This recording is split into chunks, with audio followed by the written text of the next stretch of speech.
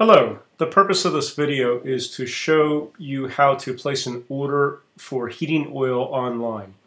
We are at the rfohl.com website and if you scroll down to the right side here you'll see order heating oil and I will click on that which then prompts me for some questions and uh, just read through these questions to determine whether or not this is a yes or no answer.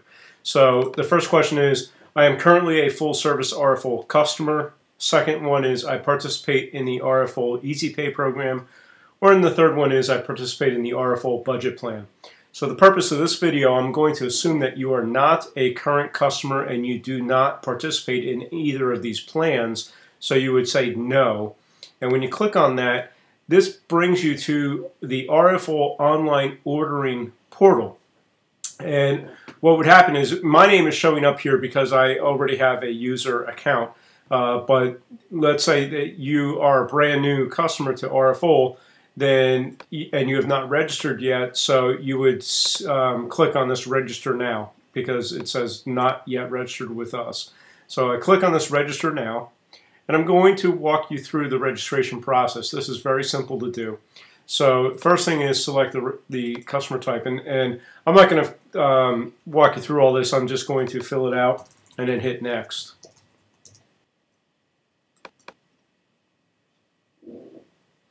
On the second uh, page here, you enter your billing address information.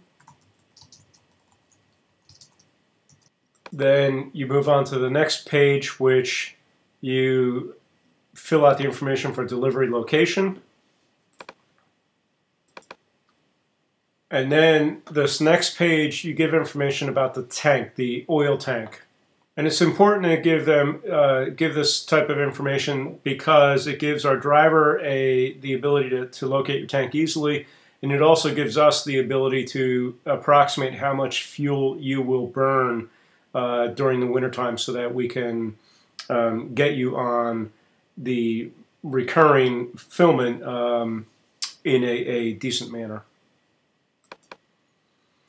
And then uh, after you're done with that, you click next, and then this just uh, gives you all the information to review, and then you would hit register. Once you are registered, once you are registered, then you can purchase, um, you, you, get pricing, and then you can also purchase your oil.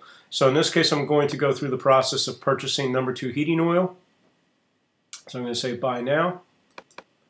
And this gives me my pricing uh, and the order quantity. The minimum order is 100 gallons. Uh, I actually want to order the minimum, so you see I don't have the option for that, so I'm going to enter a quantity, and I'm going to say 100.